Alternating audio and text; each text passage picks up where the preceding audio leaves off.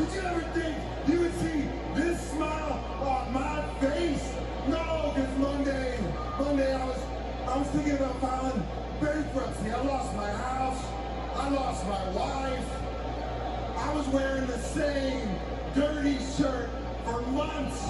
I thought my WWE career was over. I thought I hit rock bottom. But look at me now.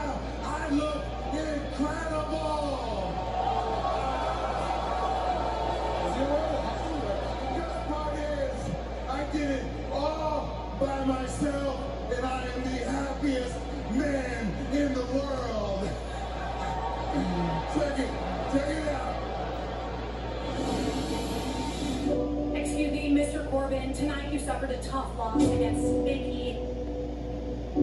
Is this the last we'll see of you? Yeah, yeah, it, it probably is. All I've got left is, is $35.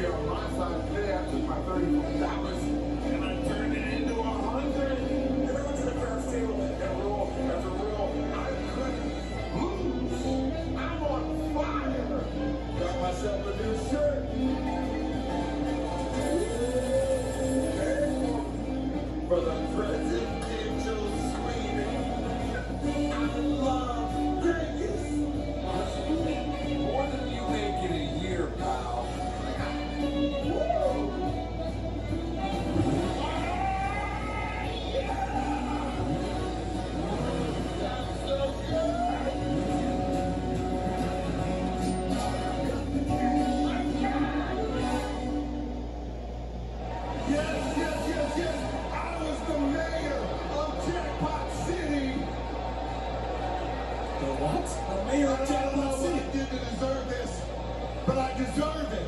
I bet on myself, and I wanted, look at me now. I'm wearing a $3,000 suit, an $800 shirt, $2,000 shoes, a $50,000 Patek Nautilus. I drove here in a $300,000 Bentley.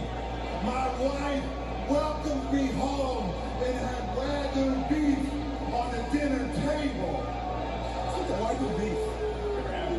I have, he's obsessed with this thing.